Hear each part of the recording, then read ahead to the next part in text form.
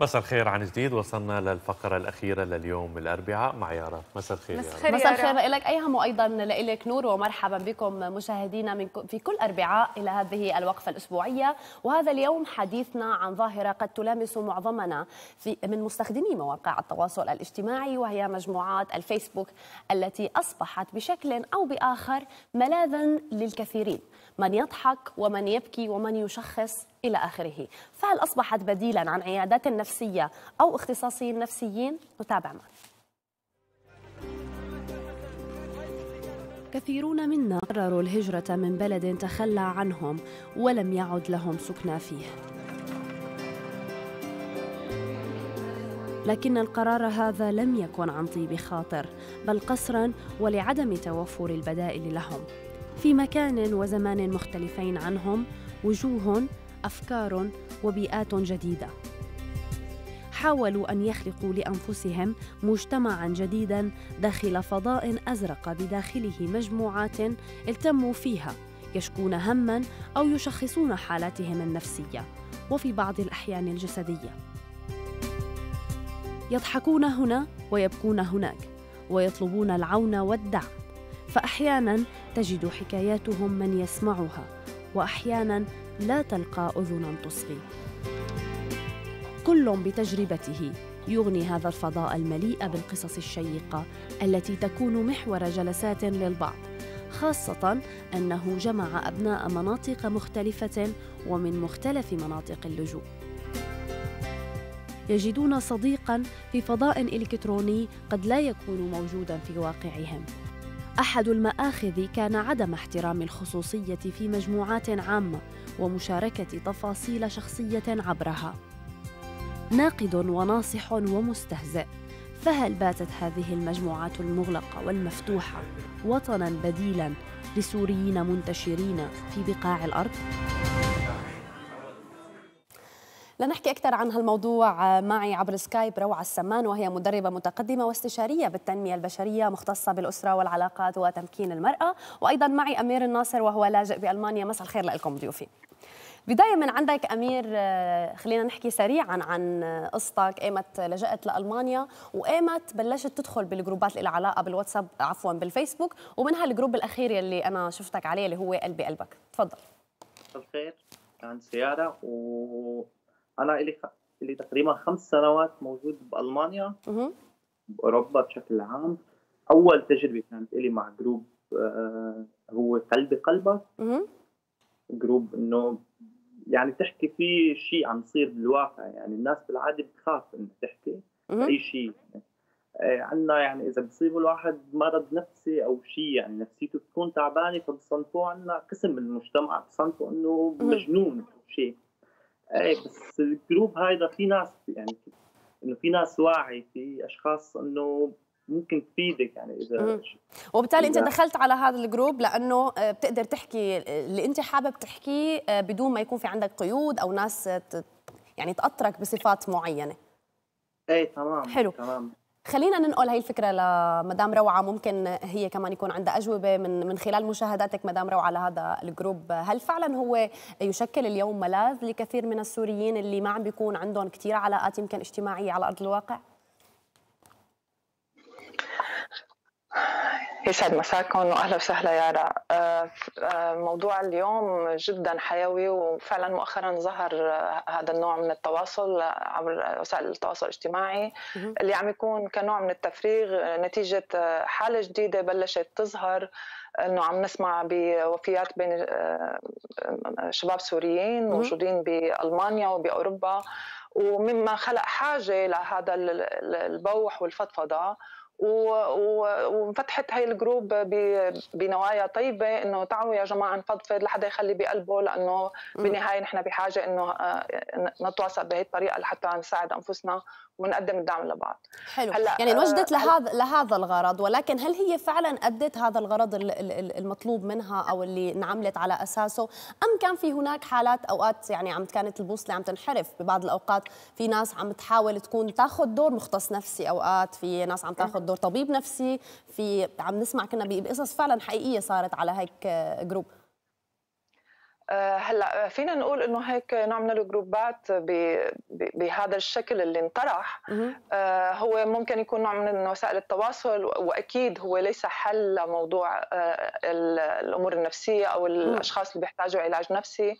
وخاصة إنه أنا هون حابة انوه لنقطة كثير مهمة إنه فكرة ال ال الوفيات بين الشباب اللي صارت واللي خلقت هاي الحاجة واللي عم يقال إنه هن عم يكون سبب وفاتهم جلطات قلبية بسبب الكبت يلي عايشينه.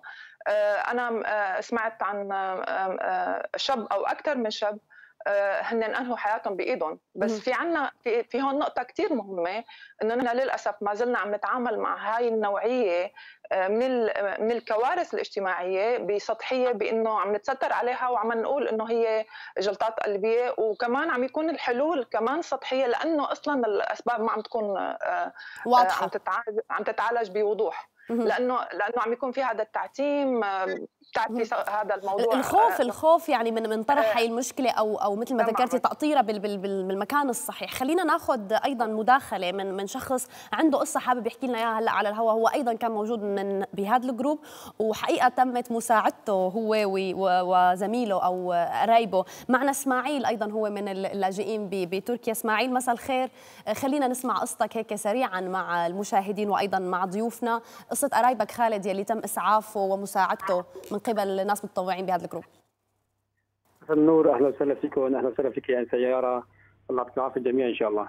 آه، بالنسبة لقرايبي خالد آه، هو كان يعاني من مشكلة من شيء 10 سنوات أو أكثر شوي بصدره. آه، عنده التهابات قصبية. أدت لهالشيء هذا إنه الصمام تبع القلب وما بقى يشتغل نهائيا. نتيجة الأوضاع في سوريا فقط فقط والده ووالدته وأخوه جاهم آه، صاروخ سكوت. وهو آه، كان موجود معهم نفس البيت بس آه، هو الوحيد اللي اللي طلع من العائله له بخير وسلامة. بس فقط والده ووالدته. هذا الشيء أثر على نفسيته يعني. بالإضافة نظرا لضيق الوقت إسماعيل خلينا نحكي على على الجزء اللي بلشت فيه قصته بتركيا يعني. لما صارت معه الحالات اللي قلت لي إنه صار في دوخ ويصير معه قصص بالشارع. هل هذا الشيء اجى هون على تركيا؟ طبعا هو ما تم له حدا نهائيا بسوريا إنه فقد أهله. آه، لذلك شوي شوي الحاله صارت معه آه، زيادة عن اللزوم. وقت يمشي الشارع آه، ما يحسن في كل 10 امتار 15 متر بيوقف ليريح شوي ما بيحسن بنهد بصير معه دوخة بصير معه فورا بصفار لذلك قديش أخذناه على المشافي. آه، بفضل رب العالمين آه، المشافي التركية هون ما اثروا معنا نهائيا. آه، طلبوا إنه فورا دكتور إنه بده عملية فورا لتغيير الصمام تبع القلب. هون طلب لنا الدكتور إنه تبرع بالدم 15 شخص ما بيأثر إذا كانوا أتراك أو سوريين ما بيأثر. طبعا سابقا بدهم يكونوا أتراك أما هلأ سوريين ما بيأثر. فورا والله أنا ما بعرف أول شيء ال group تبع قلبي قلبك. الله يجزيهم خير إن شاء الله. فورا بعرف فيك ناس أهل الخير هن اللي عرفونا عن على هذا ال group. وفورا نشروا الخبر على على group قلبي قلبك. والناس يعني صارت تجينا من من فتره عميق نعم. الله يكثر خيرهم. حلو كثير يعني بعد نشر ال post العالم تواصلت معكم وفعلا آه، تواصلوا وقدروا يوصلوا معكم للمشفى وتبرعوا بالدم وكملوا معكم إجراءات العملية لوصل لبر الأمان صحيح؟ مضبوط. هالحكي مضبوط الحكي جميل. إسماعيل نحن للأسف لأنه الوقت شوي ضيق اليوم. أنا حبيت آخذ مداخلتك وعليكم العافية يا رب وعن جد الله يكثر من أمثالهم هدول الناس. بس كلمة آه، أخيرة بعد إذنك يعني لنا سريعا. آه، في ناس عم عم يتواصلوا معي على الخاص. إنه إسماعيل إنه شو بلزمك من من مادة من وقفة من دواء من بيت لشيء إحنا أي شيء إحنا جاهزين حلو كثير يعني يعني مو مو بس مو بس بوقتها كان في استدامة للعمل الخير وكان في آه، تواصل معنوي أيضا.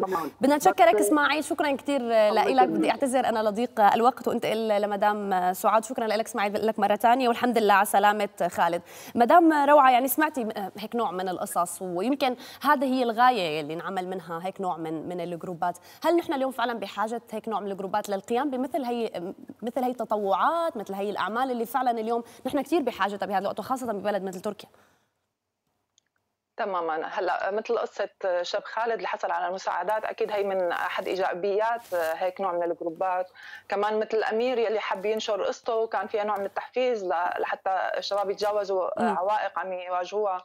بالغربة فهي من إيجابيات هيك جروبات. وبالنهاية بقول إنه حتى لو كانت الجروبات لها هي الفوائد إلا إنها ما بتغطي غرض العلاج النفسي. تماما. لأنه هي الفكرة اللي بحاجه لتوضيح سبب الوفاة اللي عم تصير عند الشباب وهي ظاهره عم تنتشر مؤخرا وبدنا نتعامل معها بشكل واضح وبعمق وتحتاج إلى علاج نفسي. قد يكون أحيانا الجروبات لكن ليست عن طريق الجروبات الموجوده بالفيسبوك وإنما ممكن يكون في نوع من الجروبات للدعم النفسي لمختصين ودكاترة و... وأسماء لهم باع يمكن بهذا الموضوع يعني أو أو أو موثوقة خلينا نقول. خليني آخذ بس مداخلة قبل ما أختم معك مدام روعة من أيضا مداخلة من أمير. أمير أنت من الناس اللي شاركت قصة شخصية أيضا لإلك ويمكن هي بتمسك بشكل أو بآخر. يمكن قلت لي لو كنت بسوريا ما كنت قدرت تشارك أنت شاركت قصة خاصة سواء كنت أنت تشرب كحول أو غيره من من المواد وحكيت عنها وحكيت عن تجربتك كيف قدرت تتخلص من هذا الشيء وحاولت إنك تفيد الناس. وتقول لهم إنه الإرادة موجودة. فهل أنت حسيت بإحراج إنه أنت عم تشارك شيء خصوصي قدام ناس ما بتعرفهم؟ وممكن أيضا ما بتعرف هن شو خلفياتهم سواء كانوا موجودين بألمانيا أو بغير بلدان من اللجوء؟ لا. أنا شاركت قصة إنه كنت أشرب حشيش أو كحول مثل أغلب الناس اللي موجودة هون. okay. إيه، أخذت ردود إيجابية. يعني في ناس إنه فهمانه يعني اللي عايش هون بأوروبا فهمان شو الوضع. يعني بتاخذي تحفيز بتاخذي شوية أمل من الناس. يعني okay comment صغير بس ممكن يعطيكي أمل ممكن يعطيكي قوة. يعني هذا الشيء إنه okay كثير ما خفت ما خفت قبل ما تكتب ال post وتحكي شيء خاص فيك إنه الناس ممكن مثلا تقرأ هذا الشيء أو تصوره مثل ما انعمل يمكن مع مع أشخاص ثانيين هلأ بالنهاية يعني أنا يعني فكرة الخوف عندنا هي اللي بتوصلنا إنه أنا خ... أنا خايف من الموضوع هذا إنه لأ بدي أتحمله لحالي إنه أنا عملت شيء كثير غلط لأ هو شيء عادي يعني أي شخص إنه ولكن يعني تقبل الناس لهذا الموضوع هو ممكن يخوفك. بشكل عام الأشخاص الموجودين بال group يعني أشخاص واعيين مثقفين. حلو. اذا كان في ثقة بالوسط المحيط وبهذا ال group. خلينا ننتقل بآخر آخر نقطة لمدام روعة. آه مثل ما ذكرنا قصة خالد إنه ممكن هو فعلا يذكر شيء كثير خاص فيه. يعني قديش فعلا هذا المكان ممكن يشكل مساحة ثقة لهؤلاء الأشخاص ليقدروا يشاركوا مثل هيك تفاصيل شخصية بحياتهم وما تنقلب عليهم. تماما. موضوع الخصوصية هو أمر كثير شخصي. بالنسبة لأمير تجاوز آه، هذا الموضوع تجاوز الخوف من هذا الموضوع وهي نقطة كثير مهمة. ويمكن هون بدي سلط الضوء على نقطة أنه يمكن أمير لأنه تجاوز آه، موضوع أنه هو كان عم يشرب آه، أو عم عم يتعاطى شيء وبالتالي هو عم يقدم قصة تحفيزية أنه هو قدر يتغلب على هذا الشيء. وبالتالي يعني هي قصة ممكن الواحد يتشجع ويتجرأ أنه يشاركها. خليني أتخيل معك شخص آخر غارق بهذا الموضوع. بسبب اكتئاب عم يعاني منه فهو أكيد ما رح يكون عنده الجرأه ورح يضل خاضع لمخاوفه وحتى إذا تجرأ وعرض مشكلته مو باسمه الحقيقي هذا الشيء ممكن آه، يجي آه، تعليقات ممكن يكون أمير عنده آه، قوة شخصية يقدر يستوعب آه، أي نوع من أنواع التعليقات. بينما الشخص اللي عنده اكتئاب وبدرجة متقدمة أكيد هذا الشيء رح ما رح يدعمه بالعكس رح يرجعه لورا. بالنهايه موضوع الوعي آه، لما تكوني ضمن جروب في عدد هائل من الناس ما فيك تضمني هذا الموضوع. تماما. لذلك بحاجة الإنسان لمساحة آمنة لحتى يقدر يبوح هو شاعر بالأمان ليقدر يحصل من ناس ثقة على العلاج اللي هو بحاجة له. وهي المساحة بتكون موجودة مثل ما ذكرتي مع أخصائي نفسي أو طبيب نفسي اللي هو كفؤ إنه يتعامل مع هيك موضوع. للأسف أنا وقتي انتهى ولكن الموضوع كان شيق كثير بتمنى نرجع نفتح هيك ملفات بالحلقات القادمة. روعة السمان مدربة متقدمة واستشارية بالتنمية البشرية مختصة بالأسرة والعلاقات وتمكين المرأة. شكرا لك. وأيضا بدي أتشكر آه، أمير الناصر لاجئ في ألمانيا. وأتمنى لك التوفيق يا أمير. شكرا كثير لوجودك معنا اليوم. ولك باع يمكن أنت نور بهي الأعمال الخيرية. كمان بدي أتشكرك وأتشكر ايهم وأرجع ارجع لكم بختام. شكرا لك يارا شكرا لك يارا وشكرا لكل اللي شافونا اليوم. لهون بتخلص فقراتنا. إلى اللقاء. نشوفكم بكرة.